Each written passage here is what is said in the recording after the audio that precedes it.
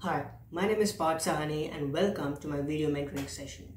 In this session, I'll read a passage from my book, Daily Stoicism. Day 7 Freedom leads to happiness. People are not disturbed by things but by the views they take of them.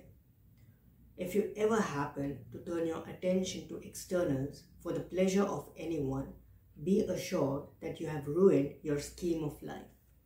Be contented then in everything with being a philosopher. Epictetus Enchiridion Being free is an essential component of being happy. The power of reason can be liberating as it helps us in focusing on the aspect of lives that we have control over and letting go of those that we cannot control. We have control over our attitude, choices, and behaviors, and that's what we should exercise. Trying to control external circumstances, such as other people and their behaviors, stock market, and material possessions, will never work out in our favor.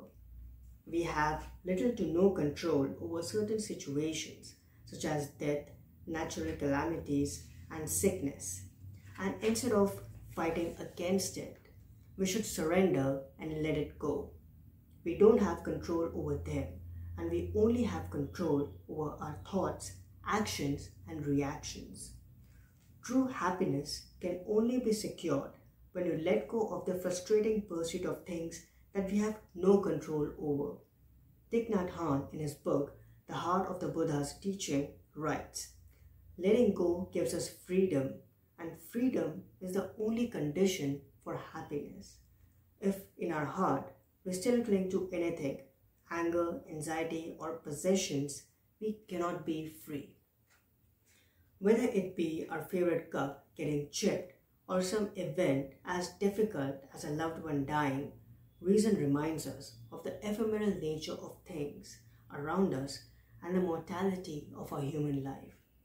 We humans try to avoid situations and people that cause us pain and despair, but reason reveals to us that it's not those things, but our perception of those things that dictates the state of affairs. Hence, to reach a state of happiness, an important step that we can take is correcting our will, perception, and, and accepting things as they are. Epictetus, through his philosophy, teaches us that controlling our desires and aversions is the key to living a happy life.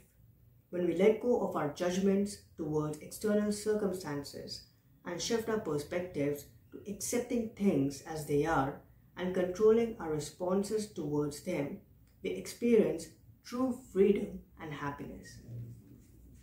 Again, this passage is from Daily Stoicism, a collection of 21 life changing med- meditations on Stoicism and philosophy. So, I hope you enjoyed this passage and uh, I hope you'll check out this book.